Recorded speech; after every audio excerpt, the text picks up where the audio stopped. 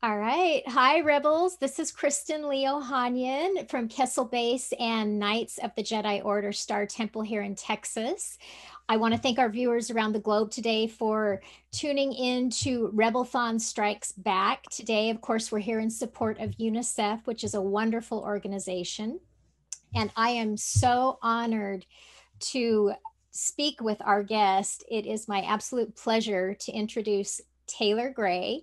He is the star of Star Wars Rebels and played the lead character Ezra Bridger, Ezra Bridger, excuse me, for all four seasons of the animated series. So welcome, Taylor. Thank you for joining us. Hi, everybody. Thank you so much for having me. Um, I so look forward to it. Oh well, we appreciate you being here. Um, let's let's jump right in. Uh, first of all, how did you find out that you were going to be cast as Ezra Bridger in Rebels? Um, that's a really fun and funny story, actually, because Rebels was one of the first animated shows I had ever read for. Um, mm. I had been acting for um, a, handful of years prior. Uh, I had started fairly young, and everything had been live action. But my agent at the time sent me an audition. We didn't know what it was for. It was uh, had a code name to it, and I think it was called Wolf. Um, and oh. so she had sent it to me, and she was like, hey, record this the way you record any other audition, but don't put it on camera. Just like do it in your closet. I was like, okay, sure. That's interesting, but I'll give it a shot. So I I did the first recording, sent it in to um, my agent, and then I didn't hear anything for about a month. And normally on projects when I'm reading for, if I don't hear after that long, I kind of put it in the past and I, I focus mm-hmm. on what's to come. Um, and I got a call from them saying, "Hey, remember that thing that you auditioned for, the voiceover? They want you to come back in um, at Disney Studios in I think it was like Glendale, and meet with the creators, writers, producers, and just do another like a, a callback. And I was like, oh, that sounds fun. Um, and I, I still didn't know anything about it. I just knew it was called Wolf. So I figured it was something. I thought it was like Jungle Book was what my honest uh, thing was. So I was like, okay, cool. And I was actually shooting something else the same day that the callback was. And I always remember this, and I, I thank my mom for this because Star Wars and, and Rebels has turned out to be such an amazing, amazing thing to be a part of. But oh. that day I was I got off set a little late and I was an hour and 15 minutes late to the callback. And I remember I think I was like 19 at the time. I or 18 and I I was all worried. I was sweating from like I was doing a very active shoot and I told my mom I was like, I'm not gonna go in there. Like it, it just it feels weird. Like I don't like to be late. It, it just seems like I don't care about it. Like, I'm not going to do it. And she was like, just go in, like, go in and have fun. And I remember I had a hat on backwards that time. And I remember thinking, like, I've never walked into an audition ever with like a hat on because nor- you normally wouldn't do it. But I was like, animation, maybe it's okay. And then I got in there and it was a Philadelphia Flyers hat that I had. And Dave Filoni is very famously a, um, from Pittsburgh, a Penguins fan. And I remember he was like, give me a hard time for the hat. And I was like, oh man, I've really just messed this up. But I had a great time with him and the other producers reading for it. And then it was about a week later, I got a call and they were like, hey, so they're offering you the job and it's Star Wars. And I was like, wow, guys, why didn't anybody tell me that this is Star Wars? And it, in hindsight, I'm so glad they didn't because maybe I would have done something to mess it up. Whereas it was pretty cavalier how I was going into it because I didn't I didn't know what I was even reading for. Um, and then and then it was it everything is history from there. But it was just so so cool to be a part of. And the first day going in with the cast then with Dave and and talking about the character was just it was beautiful. Oh, amazing! Now, did you meet Dave prior to the casting experience? Had you ever met Dave Filoni prior to that? I had never made I had never met Dave Filoni until the callback at Disney. At least I don't believe so. I mean, we we didn't. Yeah. Okay, so paths didn't cross prior to that, then you're aware. No, of. not that I'm aware of. Wow, wow. Although now, he was, I think he said that he was working on Avatar at Nickelodeon years prior, and I had a Nickelodeon show years prior, but it wasn't animation; it was a live action thing. So maybe we were both at Nickelodeon at the same time, but I don't think we ever really crossed paths. Okay, okay. Um, now, throughout the series through uh, 2014 to 2018 did uh, dave ever seek your input on on the character on ezra um, his characteristics his uh, personality did dave ever get your input on that or was that kind of written out? Yeah, Dave was um he Dave is one of the best creators I've ever worked with. He's he's so diligent and so precise with all of his writing and with everything that he wants to do. And we would have conversations at the beginning of every season that would kind of map out the arc of that season. Because at the same time, we're also aging through each season and going mm. through these this match, especially with a younger character, a maturation process of of them uh, coming to age and becoming a Jedi, much less a man, like learning their yeah. place in the world. And so we had some unbelievable conversations um, the entire time through the show, but specifically on different episodes, Dave would um, defer to us and and other cast members, and he he would tell us, especially as we got later into the show, he would be like, "Hey, you guys know this character better than anybody. How how would you see them reacting to this?" And it it was amazing to have that because it meant that you were going to show up to work with a bunch of ideas because you I've done mm. that forum projects and they're just like don't really want to hear ideas. This is what we want and you're like okay well I'll, I'll, perform and do what you're asking. But dave it's such a collaborative effort and he understands that we are so connected with these characters and that we we have such an affinity for them and a love and a uh not an ownership but like a, a connection that it is is partly you. And so those experiences were were so cool and amazing. And every now and then too he would also tell us like oh if that line sounds a little weird to you say it how, how ezra would say it and I remember thinking like, oh, that's just such a beautiful thing that it would be a collaboration of this sort. Wow, that's wonderful and very empowering for you as an actor too to be able to have that collaboration. Uh, and it was so neat to be able to see Ezra evolve from a teen, you know, up into a young adult, and and that was just amazing. Yeah, I told Dave a few times throughout.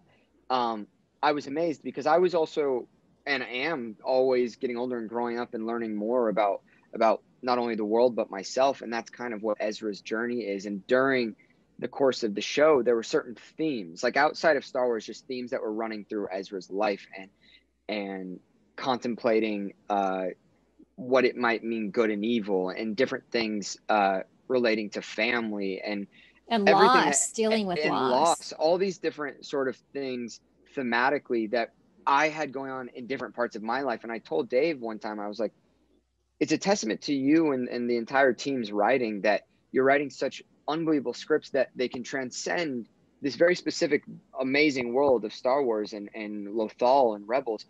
And they, I relate to them so much. And he was like, that's amazing. Keep bringing that to this character because we can feel it both ways and it, yeah. it was a nice thing to be able to bring parts of your life and imprint them upon a character in a world.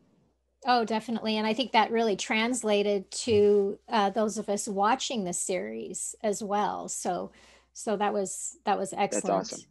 um and i also want to ask you now rebels is an animated series.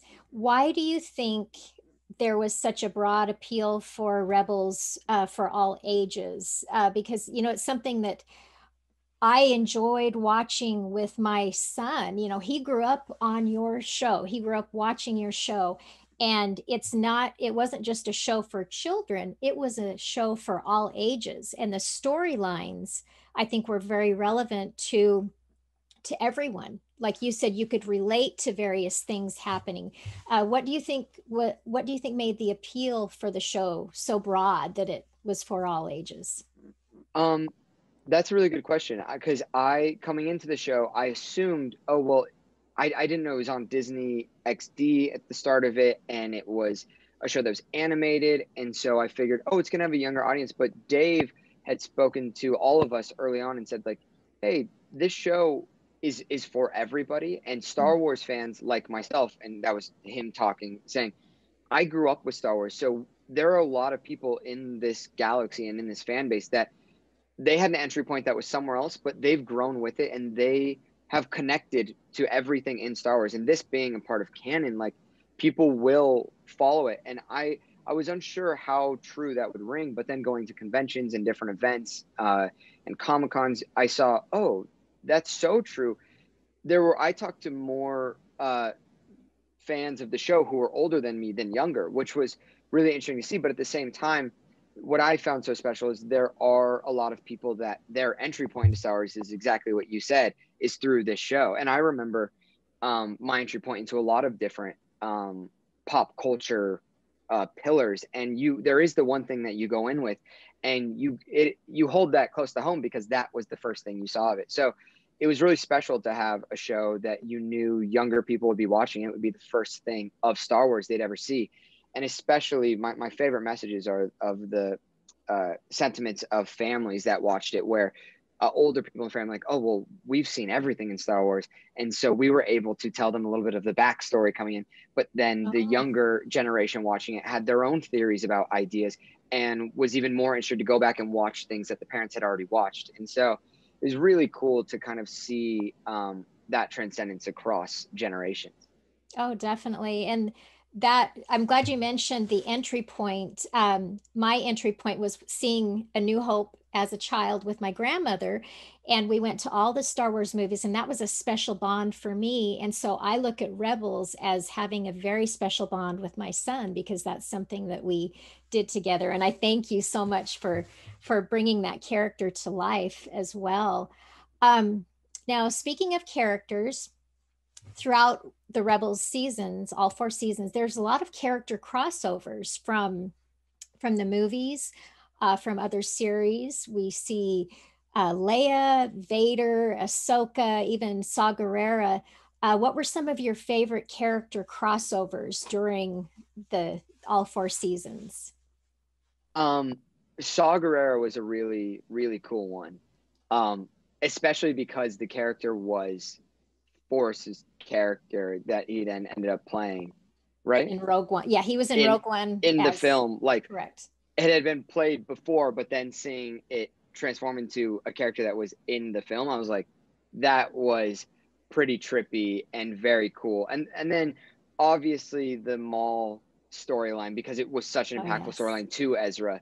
Um, some of my favorite episodes are at the end of season two, and that pull that Maul has towards Ezra and seeing that he may be um, a malleable, so, uh, someone who can be easily influenced by his uh, charm and power, and him calling Ezra his apprentice. That whole storyline was so cool to me. So yeah. the um, Ezra or the the Maul crossover was big, and then also Obi Wan. Like that's just uh, that like Twin Suns you, episode. Yeah, yeah, when you hear yeah. him him speak, it's just so cool. And Dave was great about when we would be in the booth, he would play if he had already recorded with them, he would play it for us so we could hear it.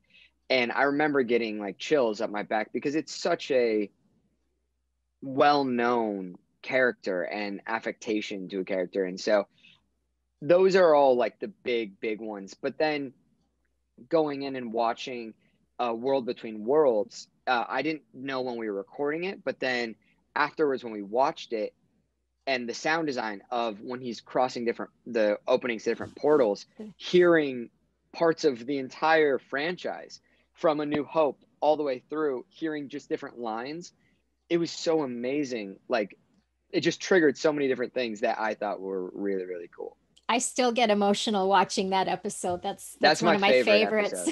yeah, it's amazing. Yeah. Um, now, I want to ask you, Taylor, in Rebels, uh, both Kanan and Ezra, they have such a deep connection to creatures, and it seems very prevalent in this series. I don't know if that's something that Dave designed, but uh, for example, Ezra's connection to the Loth cats, and uh, we have the Loth rats, the Loth wolves, uh, also the uh, Purrgils. Did did Dave insert that connection with creatures in into the series or did you all have any feedback on that? That was one that Dave and the story team had already uh, laid in as a sort of theme for Ezra is that part of the manifestation of the force within him was a connection to uh, creatures within the universe. And so the the force manifests differently within every single person and with Ezra that was something that was very very strong with him was that connection to um to creatures and so that was there from the very beginning it wasn't as strong at the beginning. I wasn't as aware of it. Um, but we see like with the Loth cats, and then obviously all the way to the very end of the, the series with the Purrgil. Um, it was something that that was in there throughout, and we we didn't have any influence on that. That was already um, a character trait or feature, which was uh, I found really cool, and a lot of people connected to it, which was nice. Yeah, it was it was really neat to have that in the yeah in the series. Um, now, Taylor, do you have a favorite episode from? I know this is looking at all four seasons. We talked about a war, a world with, between worlds. Do, is that your ultimate favorite episode? Would you say? World Between Worlds is is my favorite episode of the entire series. When I'm asked this question, the two other ones that I also respond with are the very first episode is up there for me just because of it, that was my end to this show and it was there's so many amazing memories and emotions and feelings associated around our first episode of Ezra becoming Ezra and seeing a glimpse of him and also being willing to say yes to this ghost family because he very easily could have said no and so yeah. that being the impetus for everything and him kind of taking that leap to then go on this path that he needed to go on it's it really parallels what I think a lot of people do and need to do in life, which is sometimes there are tough decisions, but you have to just have faith and take a leap. And I connect with that so much. And so I, I really love that first episode for what it means uh, in its sentiment. And then also at the end of season two, the um, two parter episode, uh, the finale of that I found uh, to be really cool. But all in all, World Between Worlds is just my favorite episode because it's it's so innovative. It's a culmination of a lot of story coming together. Um, it's empowering for Ezra for what he does and performs to save Ahsoka.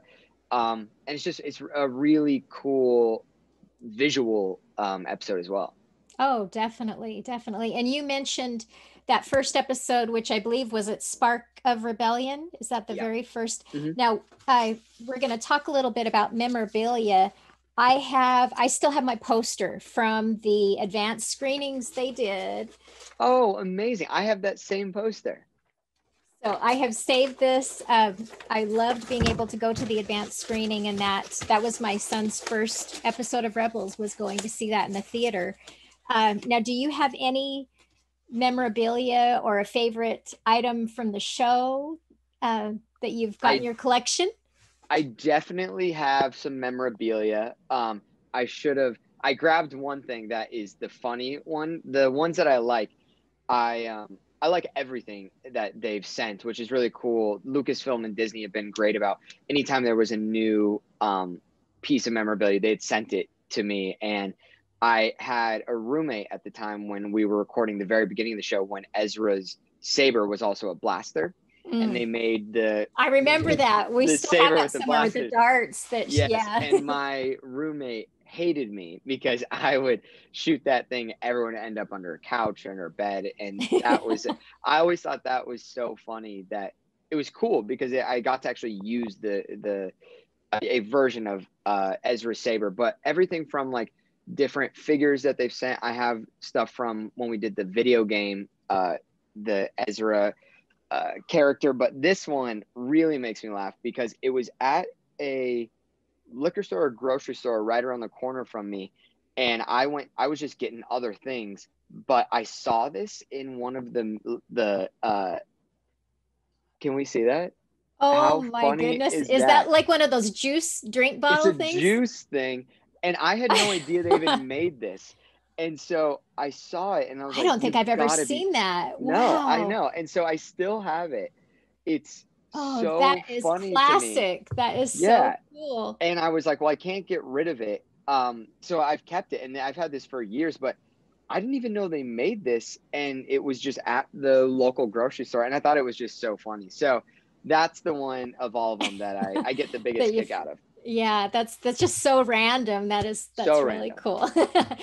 Now, um, what is your what was your favorite thing about Ezra as far as the character? Since you you brought that character to life, uh, it's such an iconic character to you. What is your favorite thing about Ezra?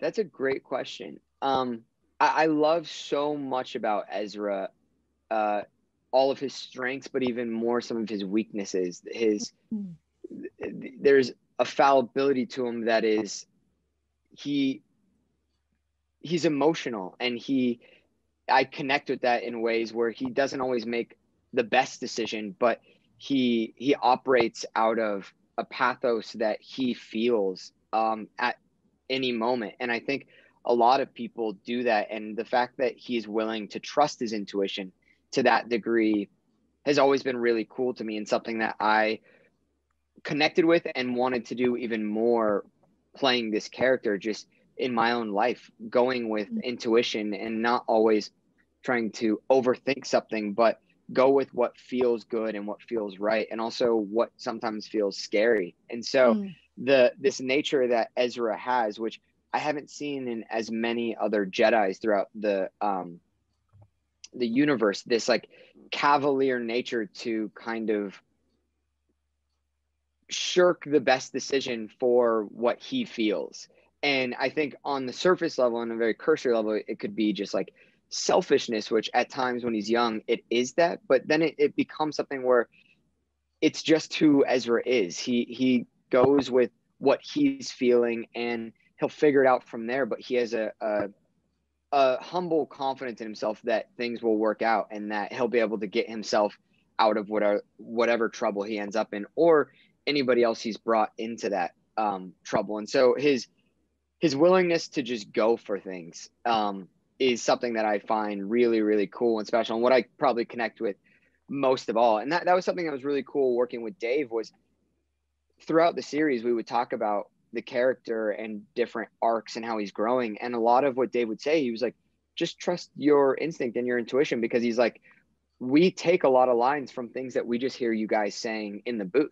Oh, like wow. we hear you guys say certain things and we're like, oh, the way you said that, let's put that in an episode down the line. And so they're constantly aware of of our natural disposition. And Ezra, a funny thing about Ezra is of all the different characters I've played, I feel closer to Ezra than so many of them. Like the there's more of a connection there and more of a similarity between himself and and myself, and it's really really cool.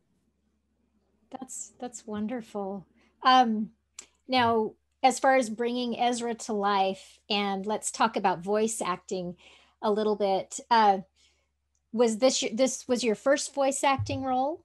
This is my very first voice. Acting. Very first. Role, yeah. Was it hard to um, convey emotion and uh, you know to to make that transition from film acting to voice acting? Was it a was it a challenging transition to make?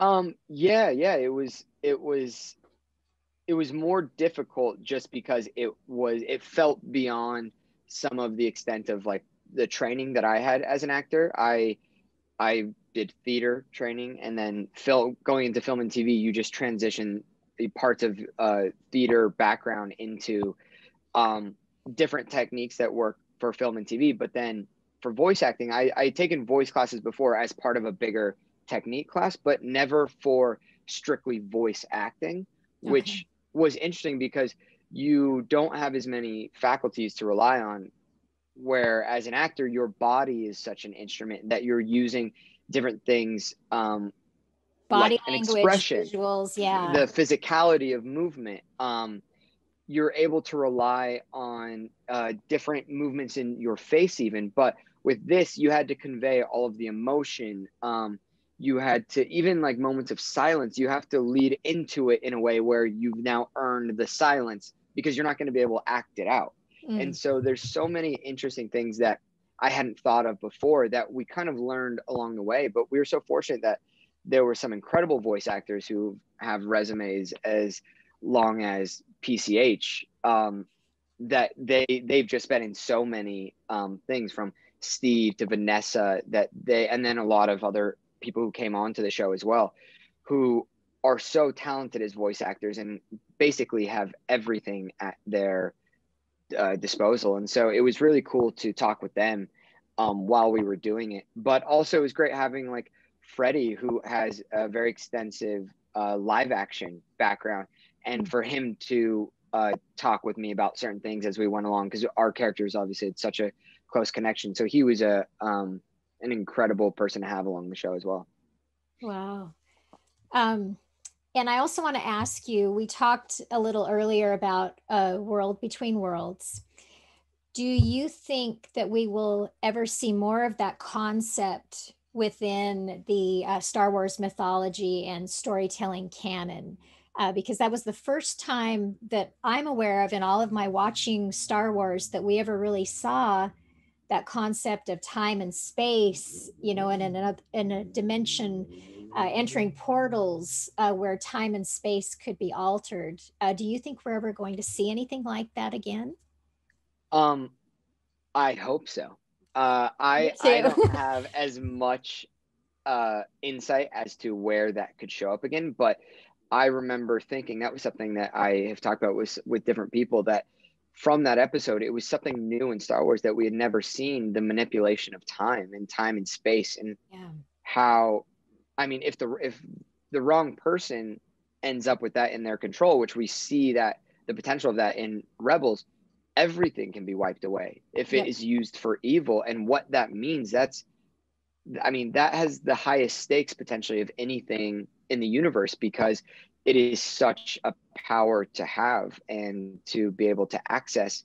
And so that I mean that episode's so amazing because we see it in the best way where Ezra is um, using it for good, mm-hmm. but at the same time, um, the potential for that and that storyline and that device in story is pretty limitless. So I would be really curious to see if or when it shows up again. I felt like there was a glimpse of it when the connection between Rey and um, Kylo Ren with the sabers.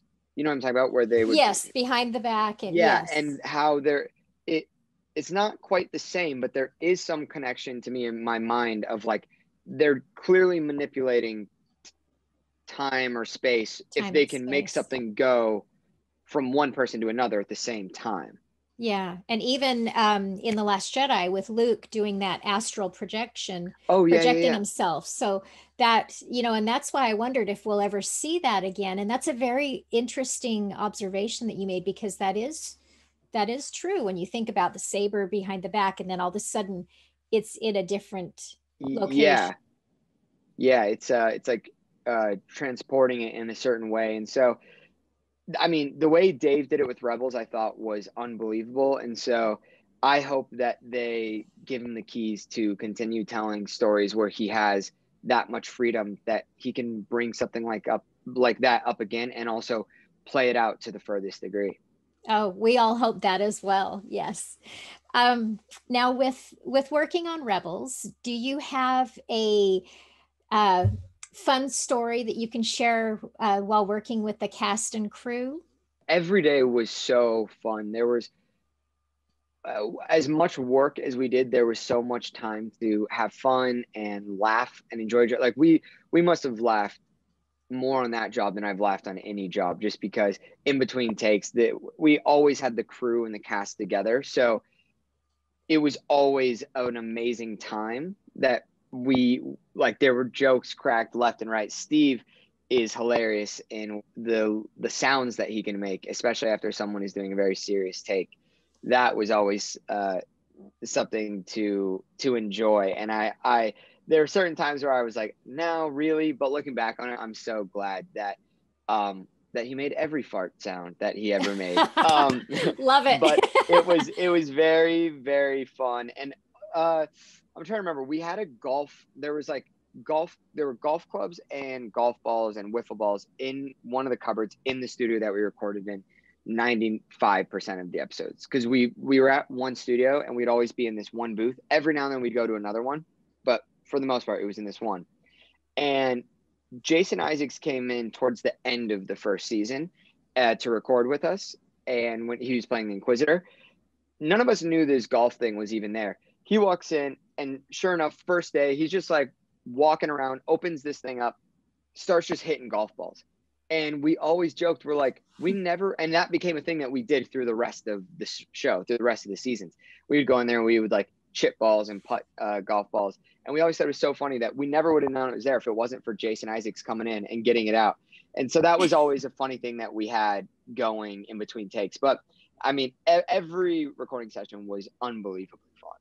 Yeah, sounds like the best job ever. I um Honestly, I was actually my first job was a movie extra in a cheesy 80s movie and I remember we filmed for about 2 months and the bonds that you make with uh, cast and crew and even those of us that were extras that's something that you carry with you through life I'm sure and I'm sure you've made some bonds with your cast and with the castmates and crew and Dave as well. Oh yeah, for sure. Now, are there, uh, can I ask you, are there any cast reunions planned for uh, the next Star Wars celebration or any uh, Comic Cons when life gets back to normal? Yeah, yeah. Life life is in a very odd place for everyone. It's been this sort of upside down year, and and my heart goes out to everyone who's been going through it for this last year because we've all experienced something that we never thought we would. We weren't entirely prepared for, and so Yeah. we we had plans to come together for. Um, I think we were going to go to an event or something during or before COVID, but it fell in the timeline of COVID Uh, um but we we have a sweet thing where we have like a, a rebels email chain and group text that we try to link up an, often enough which is not that often but uh, a couple times a year hopefully for a dinner or something of the sort so during Oh. covid I, I think we've had two um, sort of like uh, zoom dinners and drinks and just kind of catch ups and see how everyone's doing and it was a isolating time for a lot of people. So it was also just Yeah. to check in and make sure everyone was was doing all right and keeping spirits up. But I'm sure soon we will have. I, I know there have been some emails going out again in it that we'll do another catch up soon. But any chance I get to see um, anyone from Rebels is amazing. They're one of the best groups of people.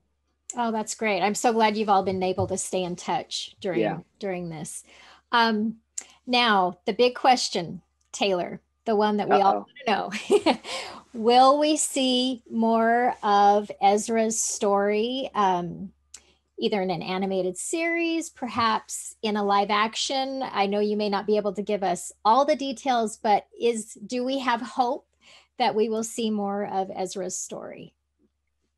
I think we all have hope that that will happen. I am not privy to too much information. I mean, to the degree that when we were recording Rebels um, at the end of the series in the last episode, I didn't even have the full script. And and Lucasfilm, Dave, they're they're famous for not uh, not keeping you in the loop on every single thing and going, well, this is what you need to know and this is what you don't need to know.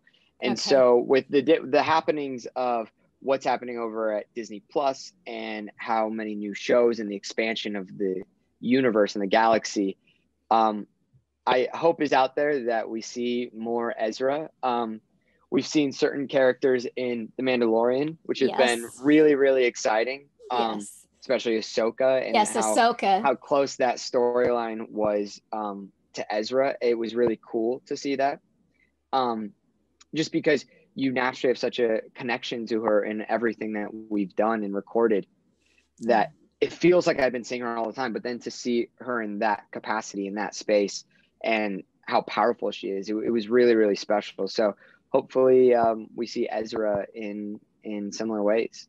Okay, well, I know that's the question that everyone wanted to know. So thank you I know for, everyone's asking for me, I- answering as yeah, best I- as you can. yeah.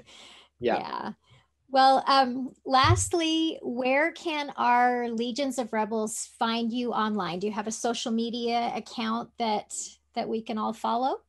I know yeah, I'm following it, but I want you to tell everybody where to Oh, follow. Thank you. Uh, yes, I do. I'm not as active on social media as I feel like I should be, but I love being on there because Star Wars sentiments are the number one thing that I connect with on there and that I hear from fans of the show and, and of the entire galaxy. And my Instagram is at Taylor Gray 3. And then my Twitter is, I believe it's at I am Taylor Gray. Okay, yeah, I think it is. I am Taylor Gray. Okay, perfect. So believe so. Twitter and Yeah. Instagram. All right. Well, wonderful. Well, before uh, we let you go, I do want to show you a little something just to show you um, what an impact you've made on my family. This is a picture of my son when he was nine years old in his Ezra Bridger costume at one of the local Comic Cons. So, oh no way, that's he's, so going to die and of embarrassment good... when he sees this. no, no, no, this is amazing. I'm so glad you shared it with me, and he looks great. Did you help oh, him with the the um, wardrobe? The wardrobe we had it custom made for him. So wow. got the lightsaber. That's amazing. And uh, he's uh, he's a sophomore in high school now, but last year for his freshman theater class, before uh, things went on lockdown, the uh, students had to create uh, a costume, armor, and he made Ezra armor. So you you no way you and your character have made such an impact on our family and I, I thank you from the bottom of my heart and I thank you for being with us today. We also want to remind everyone to please support UNICEF. They do wonderful work for children around the globe, throughout the galaxy. So uh, we want to thank you, Taylor, for your time, and we look forward to seeing uh, your future adventures wherever they may take you.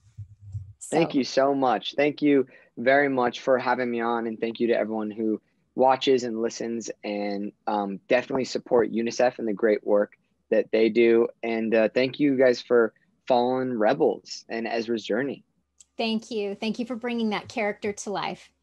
All awesome. right, Rebels. We'll talk to you later.